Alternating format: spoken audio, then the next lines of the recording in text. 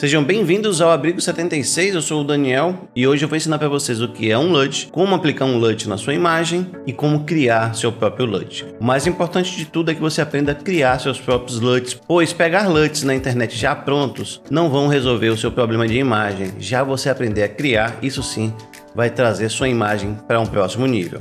Essa minha imagem aqui, ela tá com LUT aplicado. Eu vou tirar o LUT para você ver a diferença. Aqui é ela sem nada Agora eu vou aplicar um segundo LUT. Esse LUT em preto e branco. O próximo LUT, ele isola cores, ele isolou a cor vermelha, no caso a cor de pele e as cores vermelhas presentes no fundo, e o resto ele deixou preto e branco. Existem vários filtros como esse tipo aqui. E o último LUT é um LUT que vai deixar minha imagem mais envelhecida. Então é para isso que serve LUT e eu vou ensinar você a criar seu próprio LUT nesse vídeo. Como eu não gosto muito de enrolação, eu vou mostrar para vocês onde ficam logo os arquivos de LUT e enquanto isso eu vou explicando mais ou menos o que é. Para achar seu arquivo de LUT, você vai vir aqui no seu dispositivo de captura de vídeo ou em qualquer fonte. Isso não precisa ser só em câmeras, pode ser em qualquer tipo de fonte. Você vai clicar em filtros e aqui dentro de filtros você vai clicar no sinal de mais e clicar em aplicar LUT. Quando você for aplicar o LUT, você vai ter o botão de explorar. Dentro da pasta do OBS 27 ou qualquer outra versão do OBS, você vai ter arquivos de imagens em um arquivo .cube.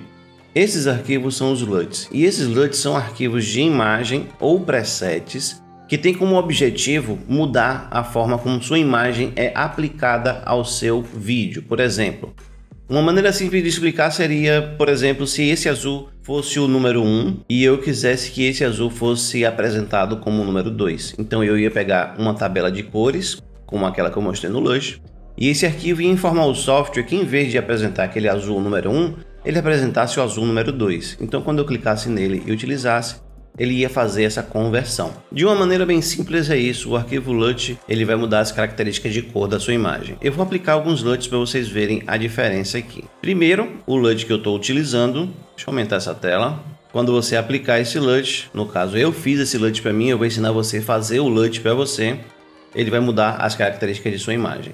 Tem uma barra aqui embaixo que é o percentual de aplicação. Em zero eu não estou aplicando nada, e em 1,0 eu estou aplicando 100% do LUT em cima da minha imagem. Você pode escolher qualquer valor aqui e utilizar. Vamos ver outros LUTs, por exemplo, preto e branco.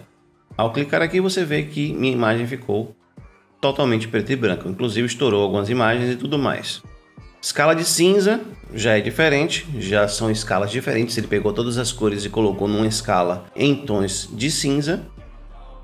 Tem a Posterized, um dia eu vou explicar para que serve isso aqui. Isso aqui serve para algumas coisas interessantes. Temos o isolamento de cor, no caso o isolamento do vermelho, ele isolou tudo que é vermelho, ó, você vê que aqui nas imagens tudo que é avermelhado, inclusive eu posso diminuir e aumentar também aqui a quantidade de aplicação desse LUT.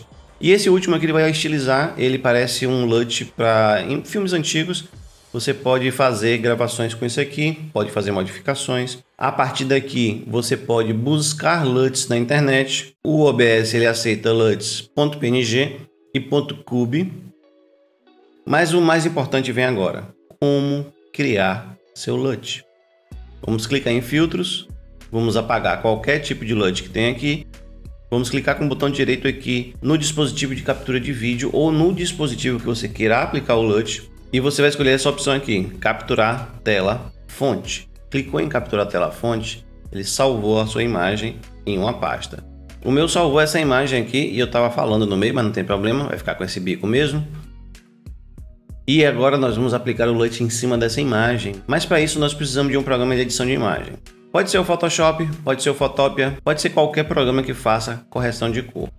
Eu vou utilizar o Photoshop, mas você poderia utilizar aqui o Photopia.com, que tem exatamente as mesmas ferramentas que o Photoshop. Primeiro, vamos clicar em abrir e agora eu vou lá na pasta onde eu salvei aquela imagem. E nessa imagem você vai aplicar filtros. Quais são os filtros que você pode aplicar? Qualquer filtro que esteja aqui no Photoshop, desde que você não aplique ele em pontos específicos da imagem, você precisa aplicar ele na imagem toda. Eu vou aplicar filtros simples, somente como exemplo, Vamos aplicar brilho e contraste. Eu vou aumentar um pouquinho o contraste aqui para poder trazer um pouco mais de contraste para essa imagem e diminuir um pouco o brilho.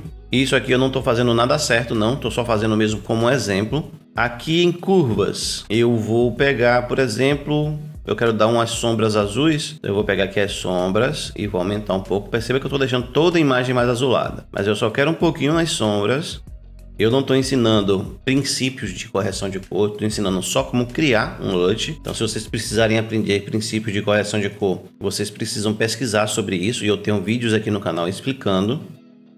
Eu vou aplicar um pouco de saturação. Você vê que está fazendo um negócio bem esquisito, né? Mas tá, tá saindo, tá mudando de cor. A ideia do LUT é essa, justamente você mudar os padrões de cor da sua imagem. Aqui você poderia passar um bom tempo ajustando isso para não ficar exagerado, mas eu quero que fique exagerado, então eu vou deixar dessa forma aqui. Agora, você precisa abrir o arquivo de LUT original do OBS. O meu arquivo de LUT original fica aqui na pasta do OBS Studio, pasta Data, OBS Plugins, depois você vai vir em OBS Filters, LUTs. O arquivo original é esse aqui, original.png. Você vai abrir ele, destravar a camada, isso vai depender do seu software. E agora você precisa copiar esta camada aqui. Você vai clicar em Ctrl C, copiei. Agora eu vou vir aqui e colar. Colei. Essa imagem de LUT ela tem que estar por baixo. Você vai colocar ela por baixo. E a imagem da foto eu vou deletar.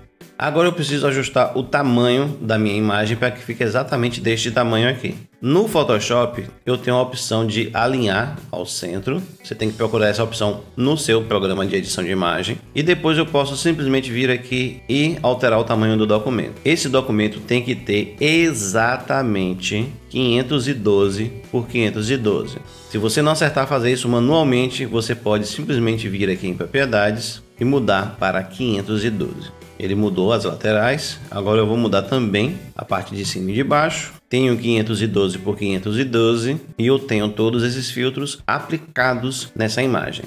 Agora eu preciso exportar. É importante que tenha exatamente 512 por 512. É importante que esteja em PNG. Depois que você tiver conferido isso, você clica em exportar e aí você vai dar um nome para o seu LUT. Clique em salvar Pronto, seu LUT está salvo. Agora vamos lá no OBS para aplicar esse LUT. Vamos lá em filtros, aplicação de LUT, explorar. Tem aqui o meu original e agora tem o LUT teste. Vamos abrir. Inicialmente você não está vendo mudar nada aqui porque o LUT está desabilitado. E agora eu vou ativar para você ver as mudanças. Perceberam que mudou completamente a imagem? Então dessa forma você vai criar seu LUT. Deixa eu aplicar o LUT que eu tinha antes. Ele também não é um LUT que eu parei muito tempo para poder corrigir a imagem, mas já dá uma melhorada nas cores, pelo menos ao meu gosto. E lembrando que configuração de cor é gosto, não existe certo e errado, existe gosto Divirtam-se fazendo os LUTs e se vocês quiserem mais vídeos sobre LUTs, posta aqui nos comentários. Breve eu vou trazer uns vídeos que tem LUTs próprios do Instagram, próprios de outros aplicativos. Sabe aqueles filtros que deixam a imagem bem estilizada? Vou trazer para vocês, mas isso será um vídeo futuro. Mas isso vai depender muito também do desempenho deste vídeo aqui. Eu espero que vocês tenham gostado desse conteúdo e se gostaram, não deixe de apoiar o canal, dê um like no vídeo, compartilhe, se inscreva e além disso, se você quer ajudar o canal, você pode tornar-se um membro do canal. Clique no botão Seja Membro, veja lá os planos de membros disponíveis e até o próximo vídeo.